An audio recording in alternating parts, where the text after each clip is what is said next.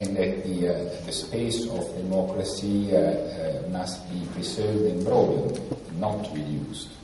Um, and that there is no uh, reform that can be uh, effective if you don't have a society which is free.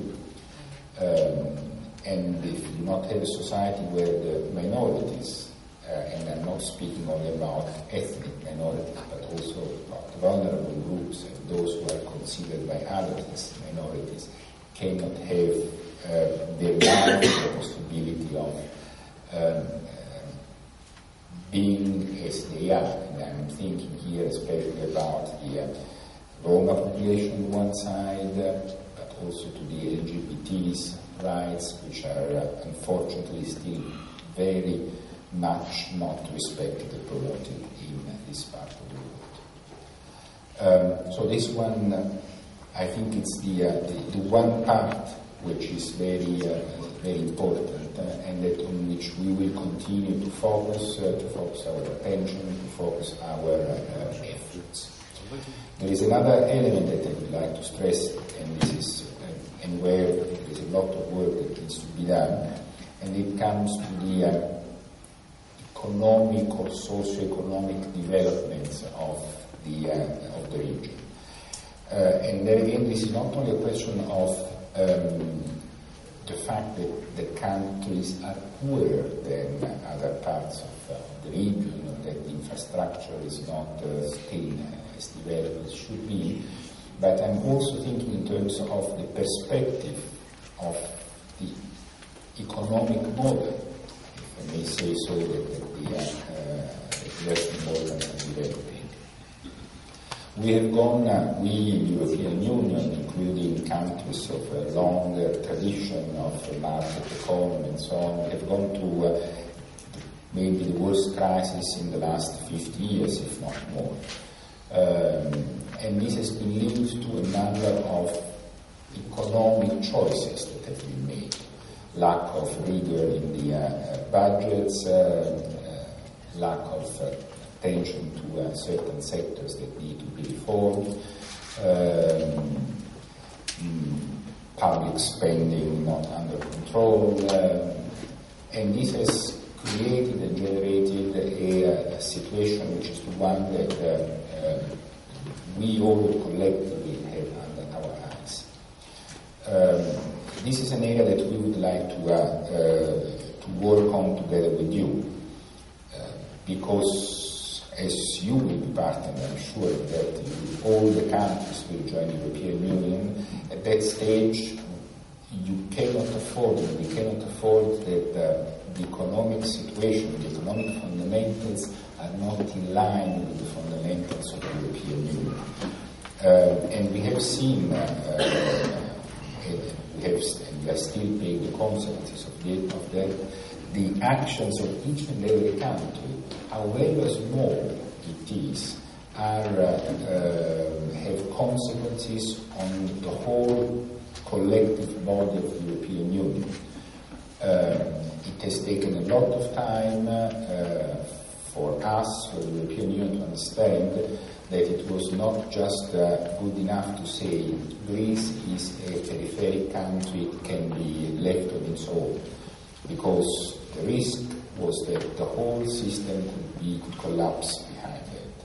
So now there is a clear sense that uh, we all need to take care of Greece, we all need to take care of all the other countries that have, uh, have problems, and uh, from that point of view, it's very good that if we could start working on these elements, on these aspects already now.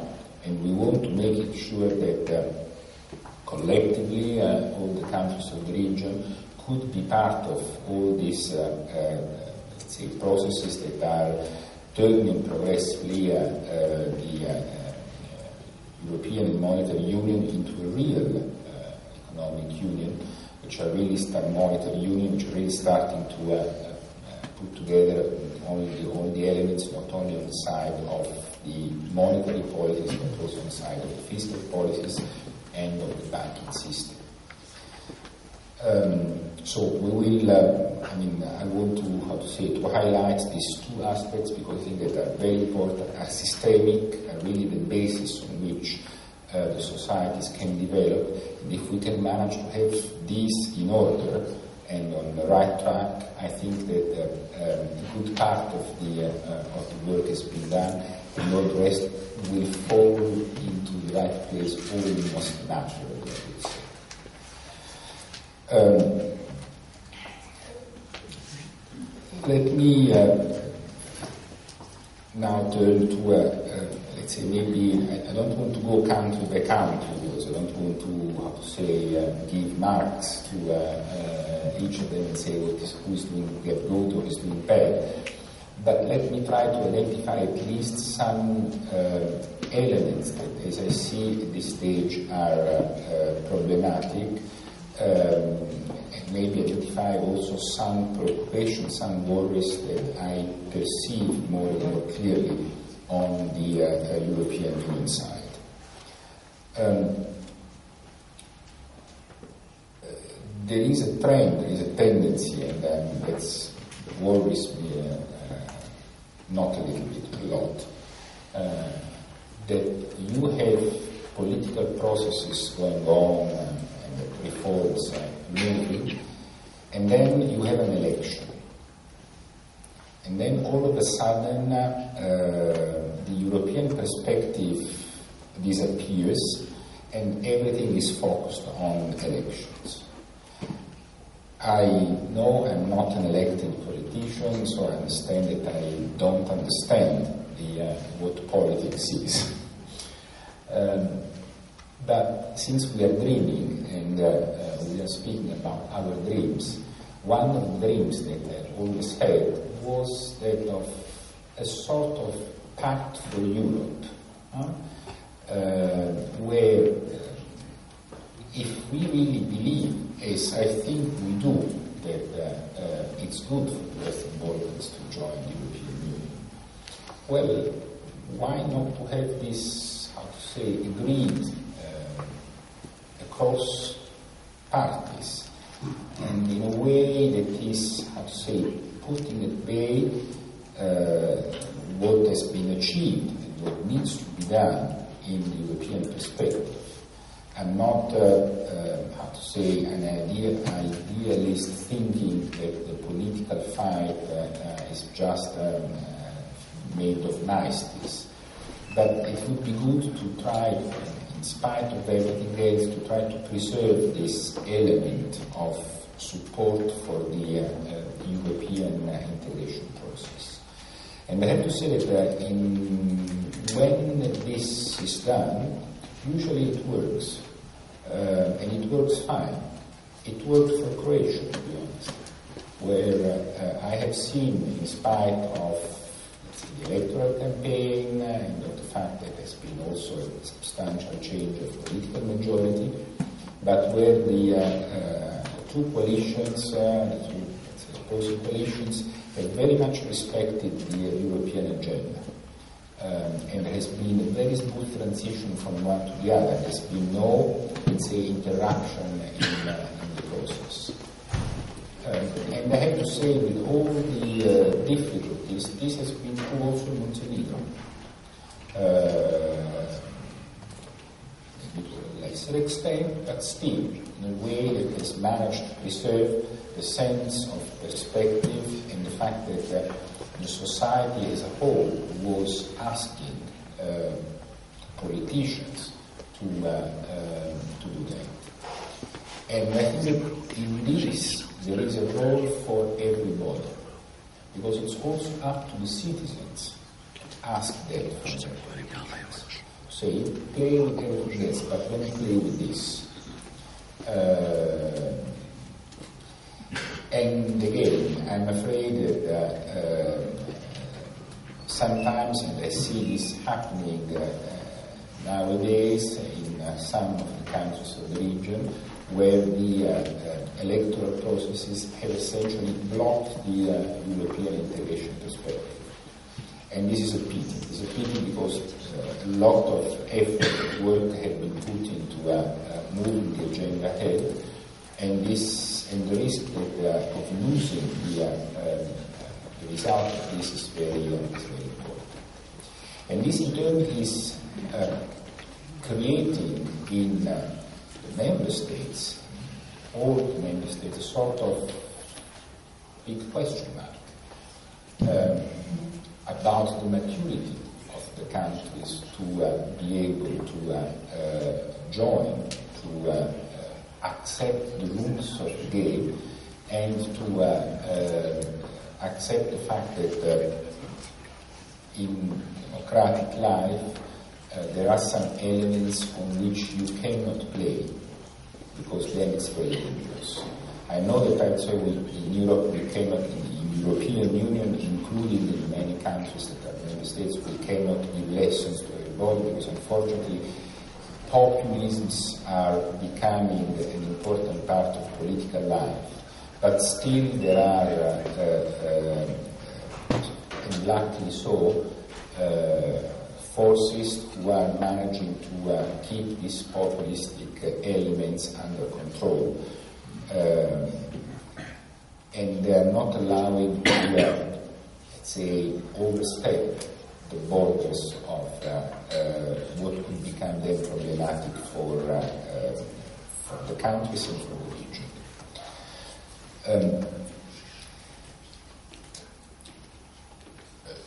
I've said that 2012 has been a good year for enlargement. Uh, I still believe and I still hope that 2013 will be a good year for enlargement. Uh, I cannot hide that many hopes, and I'm not saying only because I'm in Serbia, but many hopes are now uh, on uh, what is happening uh, uh, in Serbia a lot of attention has been devoted to uh, uh, the dialogue between uh, Belgrade and Pristina. Um, I won't give you any scoop about that. I mean, it's, it's the process is ongoing and there is a next step which is on the 4th of March. Um, this is a key key point, and the point when I was saying before about the red lines who at a certain point become um, say, less red or taking different shapes. Uh, it's something that uh, I had very much in mind uh, thinking about the dialogue. And this is good. I mean, it's, it's good like the idea of borders becoming less relevant. Uh, societies being able to interact more easily, um, people to people exchange taking place uh, in a different way. And once again, the role of the regional academy in this case and the role of this kind of networks uh, become relevant because you realize that uh, uh, we have the same problems, we face the same challenges, and we need to provide some kind of, say, uh, responses to, uh, to these challenges. Um,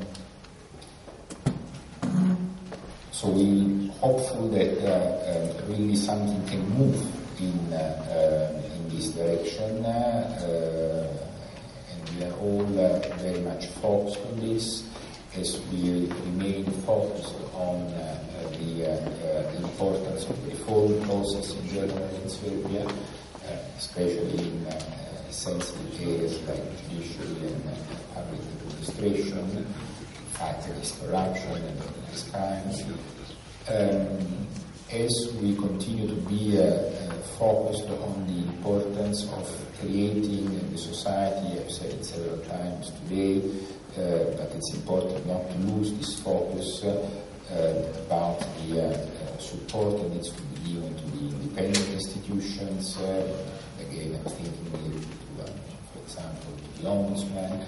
It is important to provide and to keep on preserving the spaces of uh, openness that uh, uh, have always characterized Serbia along these years. And thankful to what Ivan was saying concerning the fact that um, it is true the civil society uh, in Serbia and in the region has always played a very important role. and it's important that it continues to, um, to do so. Um, 2013 could be also a very good year for Kosovo. Um, I think that uh, important progress have been, have been made. Um, we are now engaged in Kosovo in a dialogue for visa liberalization. Uh, um, it, which is difficult issues not only for Kosovo, it's difficult issue for the region and it's difficult issue for the European Union because it's one of those where uh, there are many sensitivities in our member states uh, um, about how to say need not to uh, abuse the system. It's a message that I'm constantly trying to give. Careful because how to say this is not something that you can consider as a given forever. So you keep to keep on working on them, preserving uh, the elements that have allowed the, uh, the decision to be taken um, by the EU. Um, it's important because for the year for Kosovo because uh, hopefully in April together with the uh, report that we are preparing uh, on uh, Serbia preparing also another report on, on Kosovo and on the possibility of opening the negotiations for a stabilization association agreement with Kosovo, which would be another important say step in the direction of uh, anchoring Kosovo uh, in a very solid way to the European integration process.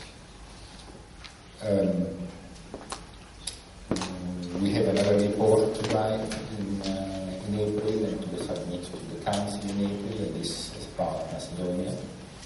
Uh, there has been uh, very good work that has been done uh, 2013 between the EU and Macedonia. We have managed to establish in the context of the high-level accession dialogue a very uh, solid relationship uh, that is allowed to move on a number of substantial files, important files like uh, freedom of expression, um, the electoral code, interethnic relations, um, and we are now in the phase of, let's say, finalizing this work which should cover also the steps uh, to be taken for the normalization of relations with, uh, particularly with Greece on the main issue, and uh, um, in general good neighborly relations. Um, it's also uh, interesting to note that also in these areas there have been some very important developments. Um, the dialogue in the context of the UN and the name issue has started again. After more than two years, the negotiators have met in a trilateral format again. Um, there have been a number of very positive developments in the relations, with bilateral relations between uh, uh, Macedonia and Bulgaria, which are uh, very positive, we hope that uh, an agreement can be finalized in the next few weeks uh, that really could, let's say, put the relationship on a much more uh, uh, solid basis, even more solid basis. Mm. Um, I hope, and it is my real hope, that the uh, present political stalemate is not going to have an impact on this process. It would be a pity. Um,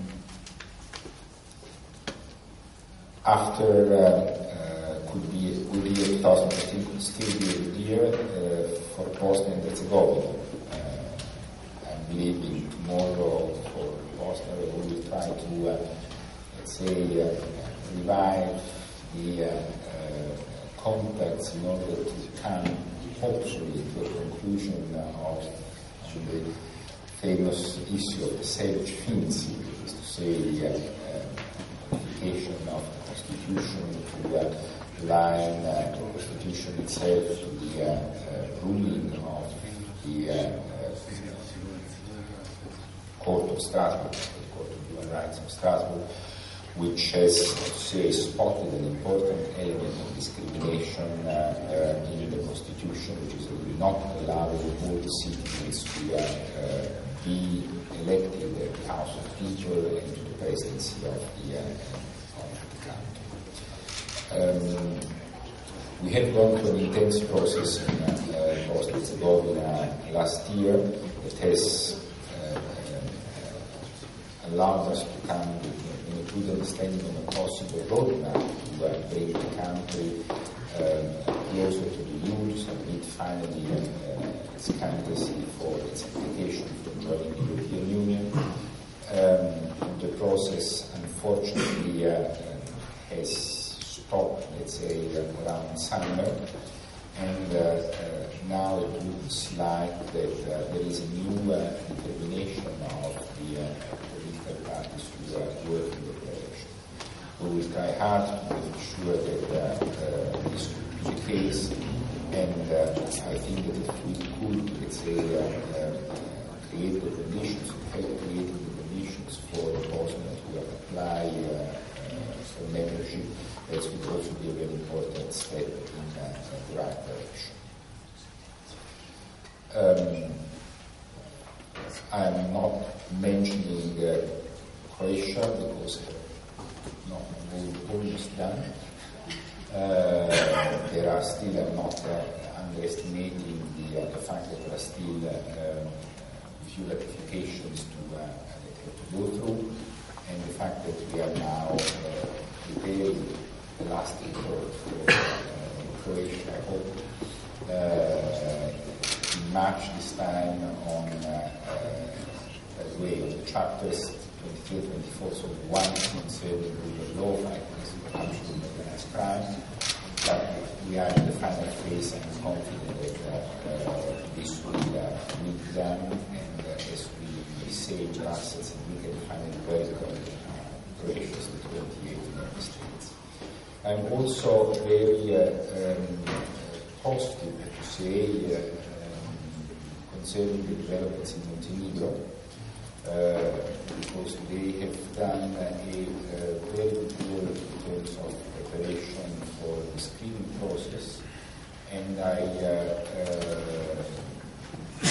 and I have to say that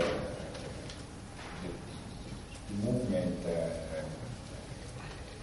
is solid, is sustainable, and we really hope to be able to uh, open another, another, we have already opened one chapter, so in the format we have, let's say, broken the ice, but to be able during the Irish presidency to have a number of other chapters to be open, and this autumn to uh, have a real breakthrough with the opening of chapter 23 and 24, uh, uh, for which a lot of work has gone uh, in the last uh, in the last few months.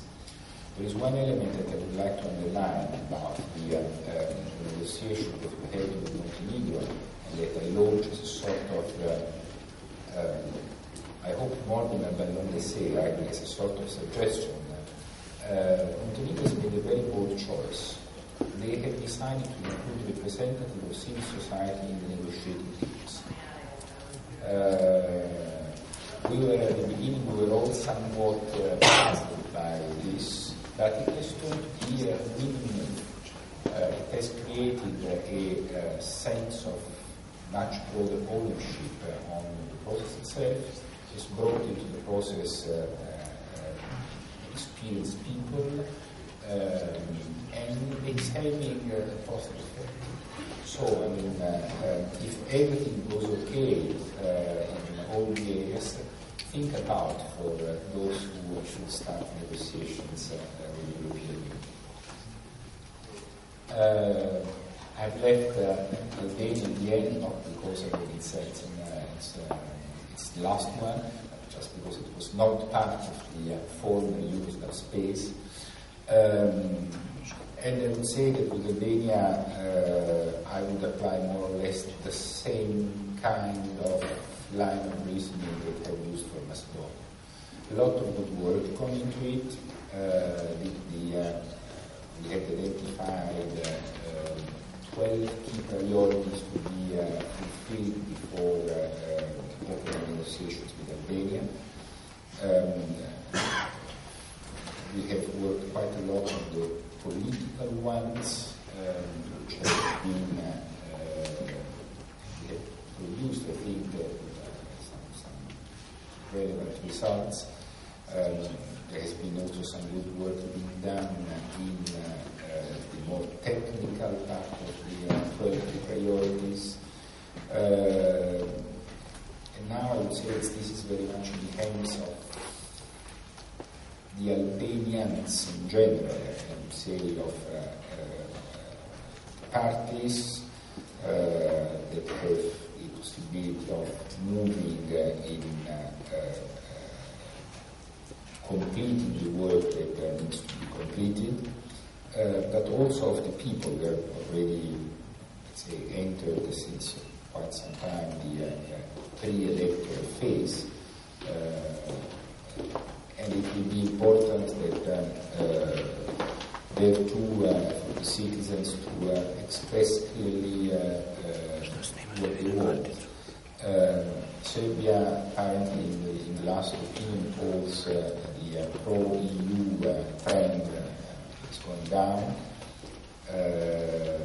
in Albania it's still I would say more than stable. We according to the polls between 88 and 95 percent. Uh, this is huge capital, uh, political capital to be used, and that could really uh, uh uh, push the country to uh, go in the right direction. And all the energies were channeled into it, it would be really a very, very good story.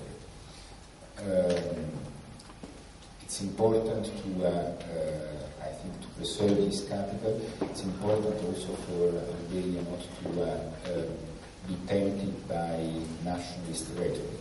It's, it would be a pity to lose one of the uh, main uh, political achievements of the last, uh, say, 10, 15 years.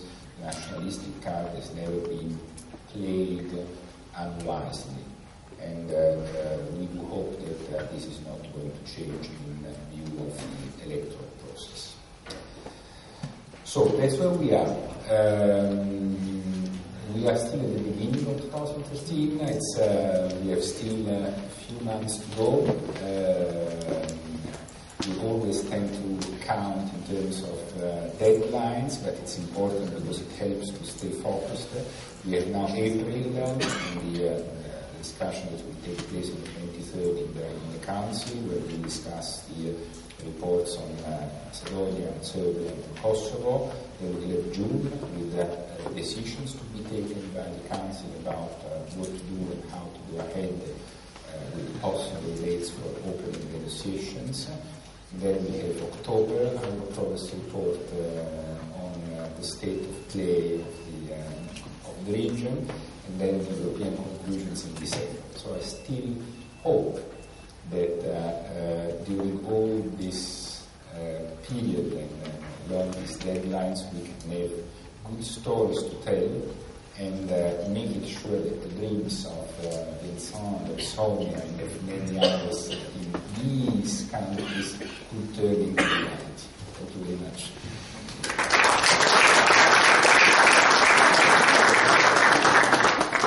Stefano, thank you very, very much for that really detailed and concrete account and of the path forward.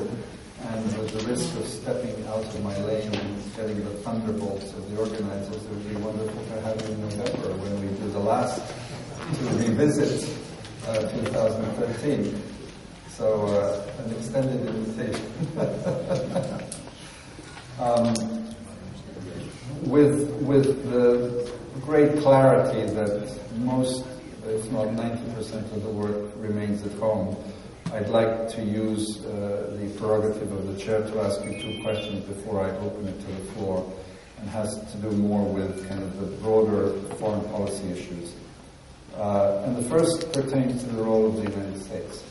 Uh, we have seen twice here the visits of Vice President Biden about two and a half, three years ago, and we all remember that he came with then Javier Solana uh, to the region, and of course most recently Secretary of State Clinton came with High Rep uh, Catherine Ashton, which I think was a a strong show of common purpose.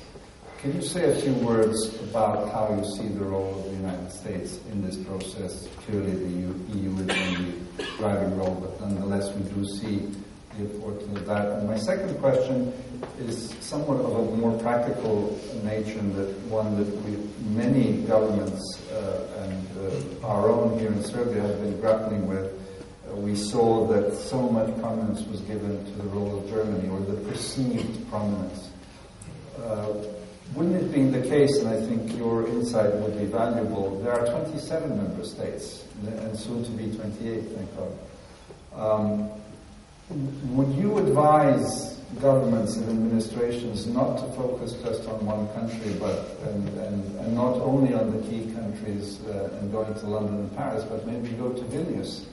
Uh, in the case of Serbia, that's the only country that hasn't ratified yet. Uh, there seems to be a focusing on one or two actors and a mismanaging of the other relations with member states. Uh, two very relevant uh, questions. Um, on relations with the US uh, and the role of the US, um, as you rightly pointed out, uh, uh, and I think that the visit of um, Ashton and Clinton, the joint visit, was display of this. There is a very, I would say, substantial unity between the EU and the US on the future of the of Western. Um, I think that somehow the United States uh, uh, recognizes that uh, the European Union has the leading role in a way. It's the enlargement process that is the driving force for, for the region, and so they are clearly giving us uh, and recognize, recognizing for us this, uh, this role. Uh, but at the same time, I, at least I, for the first Obama administration for the, if I don't have reasons to doubt, it will be continued also in the second administration. Uh, the United States still continues to be very much attached to, uh, to this region and uh, is willing to see all the countries, I would say, moving uh, substantially uh, in the European integration process. Um, they feel that they uh, have a sort of role that still play in, in the region. They understand that their role has been crucial in certain moments, so they're not shying away from this. Uh, but once again, they uh, uh, have a clear sense that now it's for us to do the work. Um, and what we're trying to